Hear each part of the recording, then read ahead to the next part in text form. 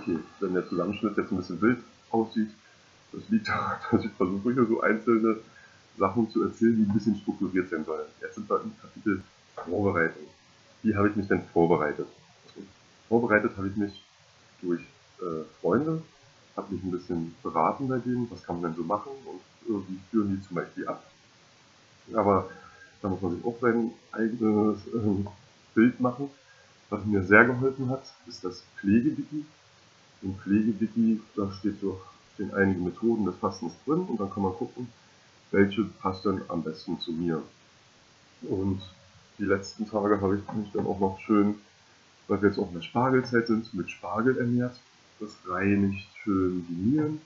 Und ich habe auch noch eine Riesenbüchse mit 40 bis 50 Artischocken in den letzten vier Tagen verzehrt, weil Artischocken reinigen die Leber. Und das ist ja, die Leber ist ja das wichtigste Organ mit beim Fasten, weil später soll ja die Leber aus meinen ganzen Lipiden und meinen ganzen äh, Fette, aus meinen Proteinen soll die Leber ja dann Kohlenhydrate basteln, dass mein Gehirn auch weiter ein bisschen mit Futter versorgt wird, weil die leider ein bisschen arbeiten.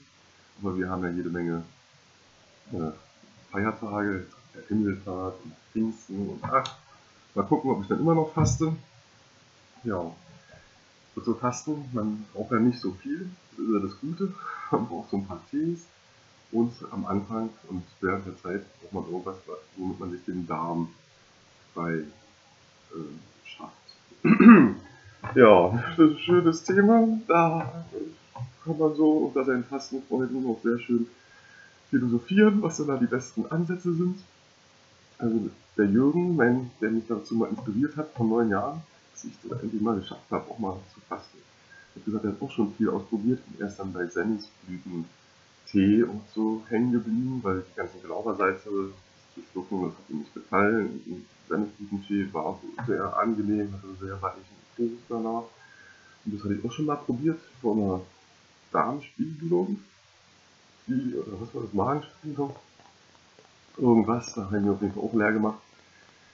Das hat mir aber dann nicht so gefallen, es hat auch ganz schön gerumpelt im Magen. Und die für mich beste Alternative, die ich jetzt rausgefunden habe, weil ich die auch noch lesen und weil die noch andere positive Einflüsse haben soll auf meine ganze, meine ganze Gesundheit und dass man die auch mal sonst machen kann, wenn man Fieber hat und zum Beispiel Ratatatata, da habe ich mir hier geholt. Eine kleine Wärmflasche mit Haken. Wozu braucht man den Haken? Ganz genau. Da kommt dann so ein schöner langer Schlauch an.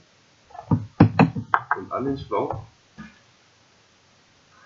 kommt dann diese Kanone. Da kann ich dann aufdrehen. Und Empfohlen wird für Erwachsene 1,7 bis 2,5 Liter Wasser per Wohneinlauf in sich rektal einzuführen. Das habe ich letztes Jahr mit Olivenöl gemacht. Da hatte ich aus der Apotheke hier so einen kleinen Becher mit Schlauch. Und das war ziemlich lustig, weil 2 Liter sich da einfüllen, wenn einen halben Liter Wasser so drin passt. Man muss dabei auf die Temperatur achten. Man sollte so, ja, ich sag mal, für mich habe ich jetzt 35 Grad rausgefunden weil es, äh, man muss ungefähr Körpertemperatur haben, was wohl so 36, 37 Grad sind. Und wenn man ein bisschen darunter ist, dann regt das halt die Peristaltik an und kann schön reinigen. Genau, und letztes Jahr hatte ich mir dann noch Olivenöl immer reingekippt, weil ich dachte, da stand Olivenöl macht den Stuhl schön weich. Und das fand ich auch alles ziemlich unbedenklich und hat auch alles super funktioniert. Ich habe wahnsinnige Angst davor, deswegen, wenn ich jetzt hier so lächelnd darüber spreche, dann ist das, weil ich weiß, dass das eigentlich ein ziemlich lustiger Vorgang ist. Ja, und mit diesem halben Liter Becher war ich allerdings nicht so zufrieden, deswegen habe ich mir jetzt was Professionelles bestellt. Und Fasten, also was er gerade gesehen hat, Fasten kommt halt sehr auch aus der ehemaligen Sowjetunion. Und deswegen habe ich jetzt hier so ein schönes Dings aus der Ukraine äh, bekommen. Kann man hier vielleicht auch hoffentlich lesen. Das ist auf jeden Fall der super Irrigator. Gibt es im Internet. Das heißt bezahlt 10 Euro oder sowas.